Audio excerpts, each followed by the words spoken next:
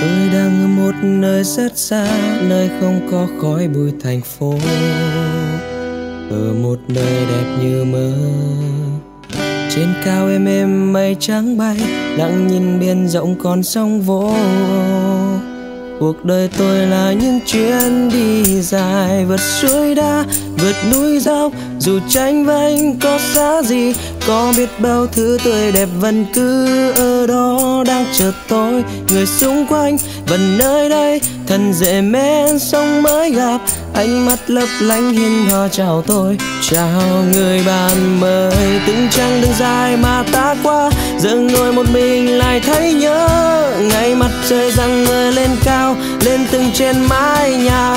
Từng trang đường dài mà ta qua, đều để lại kỷ niệm quý giá. Để một điều rằng càng đi xa, ta càng thêm nhớ nhà. Đi thật xa để trở về, đi thật xa để trở về.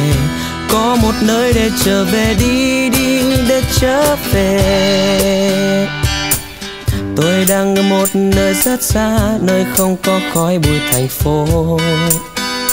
Ở một nơi đẹp như mơ. Trên cao em êm mây trắng bay, lặng nhìn biển rộng còn sóng vô. Cuộc đời tôi là những chuyến đi dài, vượt suối đá, vượt núi dốc.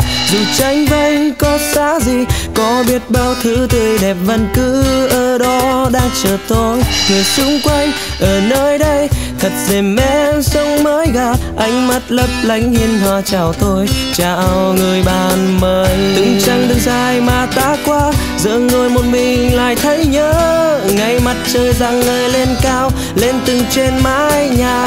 Từng trăng đường dài mà ta qua, đều để lại kỷ niệm quý giá.